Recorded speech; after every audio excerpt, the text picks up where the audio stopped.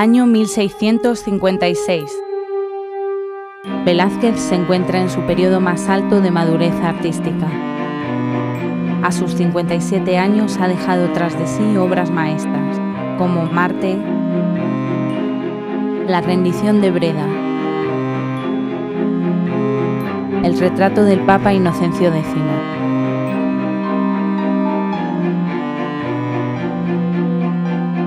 Sus numerosos cuadros sobre la familia real son testigos mudos del paso del tiempo en palacio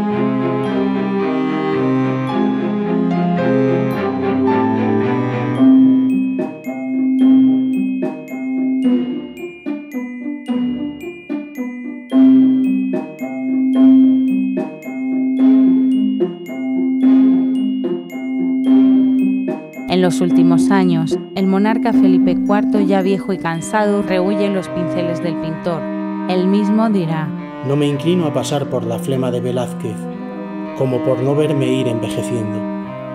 Es en esta época en la que Velázquez se plantea pintar el más original de sus retratos reales. Con una atrevida composición plasma la irrupción en su estudio de la infanta Margarita y de su séquito, mientras el propio maestro aparece en la escena pintando a sus majestades, los cuales se reflejan en el espejo del fondo.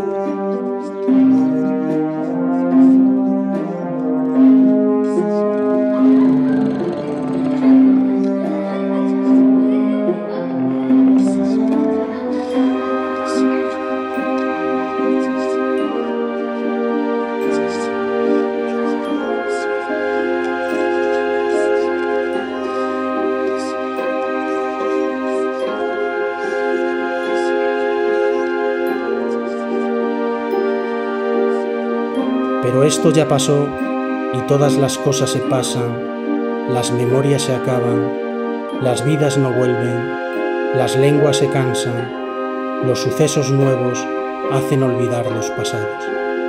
Miguel de Cervantes, El coloquio de los perros.